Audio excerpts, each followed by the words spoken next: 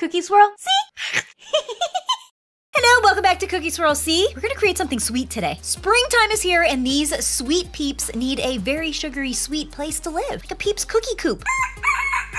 Now, I do have to say, I did buy this set a very, very long time ago. So it's close to its expiration date. Hopefully the icing is still good. If not, it might be a fail. Let's find out. Oh, that looks like a barnyard of fun. Ooh, yeah, you guys, the icing looks a bit old. So even though this is an edible gingerbread house, I think I'm just gonna make it just for decoration only. Looks like the icing has kind of separated. More than kinda. We'll just mix it up. This is so strange. Usually, whenever I work on a gingerbread house kit that's a little close to expiration, normally the icing gets really hard and dries out, but this actually feels like it got softer. This is gonna be great. Here are the peeps. Now we normally know how soft a marshmallowy peeps is. These are very, very hard. And I probably bought this set last Easter. What? Why did it take you so long to build it? I'm sorry, I've been busy gaming. But I am filming this on Easter, so technically it hasn't expired yet. It's still March. It's still March as of right now today. But when the video goes up, it's going to be April. All right, let's just get building. So let's look at our cookie pieces in this box. I see lots of chickens and a rooster. Ooh, the cookie pieces are nice and soft. They also have these round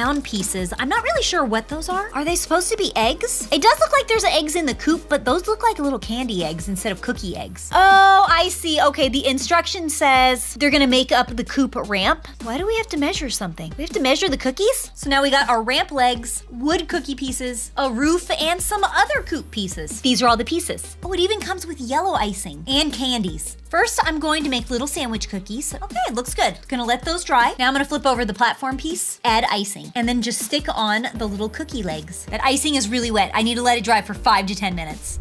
All right, it's had time to dry and it's still looking a little soft, but we're just gonna continue on. Time to ice the edges and put the coop together. All right, I gotta flip the base platform the right side up now. Hopefully the legs don't fall off. We're good. It's good. Okay, the icing's a little chunky. Oh! Let me ice both sides. Then it can stand up. Okay, got it to stay. I need to give that 10 to 15 minutes to dry, and hopefully it does not fall apart. All right, after a little drying time, now it's time to apply the roof. I'm scared to move it. I'm so scared. Okay, here we go. Oh no, no, no, no, no. It's not completely dry yet. I can feel it. I can feel the walls moving. All right, I'll just have to ice it from right here. Wait, maybe I should place it on the platform first. I have to move it. Oh, it's gonna fall apart. I know it is. I added a thick layer of icing. Now I have to move it. Wasn't too bad. It looks good. Now it's time for the roof.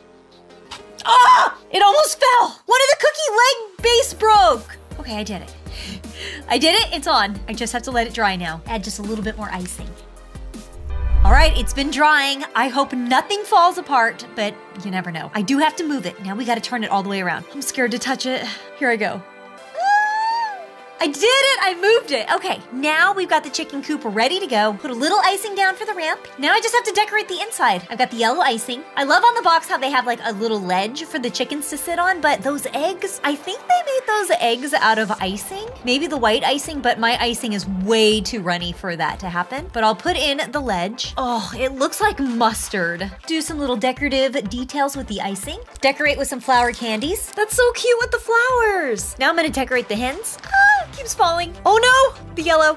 No, no, no. The icing is very drippy. Note to self, I shouldn't have used the white icing. I should have kept it all with the yellow. I think it dried a lot faster. Okay, this is the expectation and this is the reality. I know they ice their chicks with the white, but I don't think I can use the icing that is white to do the piping like that. But I'll try. Ooh, is it working? Is it working? Oh, no, no, no. It's a fail. It's a fail. No. Ooh, yeah.